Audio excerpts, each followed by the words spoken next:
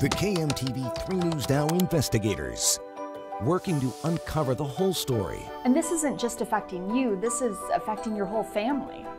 bringing clarity to complex issues, People have been reporting this for months, so why hasn't anybody done anything? eye opening, detailed investigations. Courtney Johns and Aaron Sanderford, the KMTV 3 News Now investigators. Clearly local, clearly different.